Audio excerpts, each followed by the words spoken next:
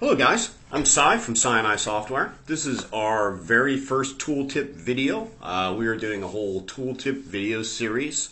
Um, sort of going to always sort of discuss stuff Max related, um, problematic files, problematic geometry, how to do certain things, maybe Max scripting, some different stuff all over. So um, for right now, uh, we're going to, for the first one, we're going to talk about bloated Max files.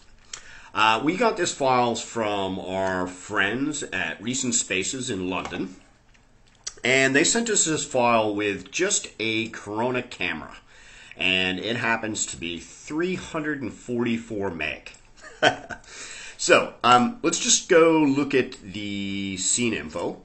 And you can see in here we have, you know, no objects, no shapes. The only thing we have in here is one camera, and that's it. Um, taking quite a lot of RAM to to uh, use this file. Um, so, what makes files bloated? Um, there's a lot of useful things in Max. Uh, we'll talk about like note tracks and um, animate. Well, actually, let's just fire up first. Let's just sort of take a look at this. So I'm going to run Forensic really quick, and we'll go through sort of take a look at what's in this scene. Um, so right now it's going to go, it's scanning through the problematic items and it's come back with things that make scenes heavy. Uh, note tracks, there's none of those. Motion clips. There is a 140,000 motion clips in this scene. Animation layers, there is 170, or sorry, 1,761 animation layers. And no retimers. But all of these things can slow down and bloat a max file. Now, if you go up and look at, say you open a dope sheet, um, you're going to notice a lot of stuff in this. You know, if I, you know, go through um, the Max Motion Clip Manager, there's a lot of custom attributes in here. Um, we also have, let's see, we have retimers in here.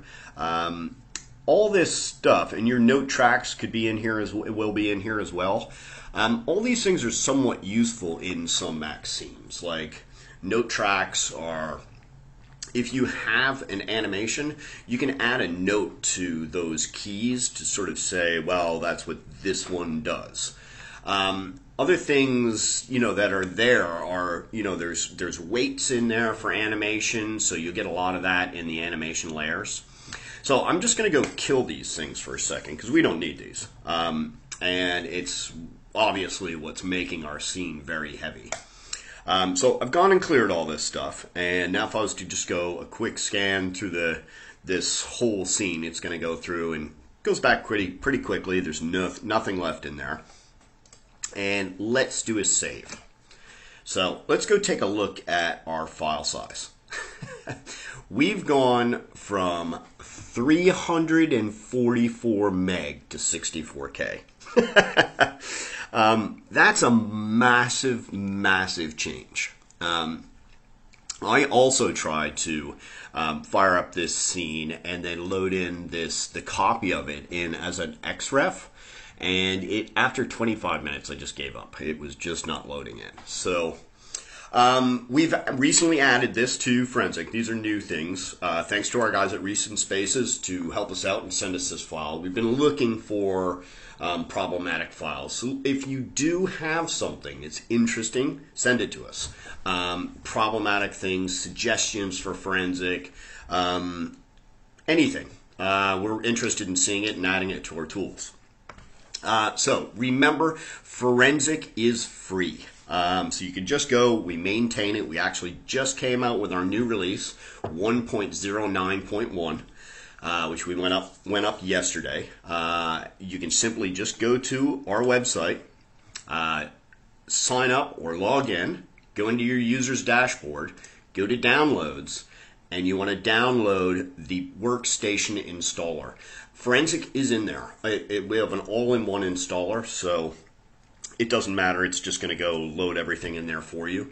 So um, if you were to get, say, proxies from other people, you can actually use them and render them in your scene and not have to have a license.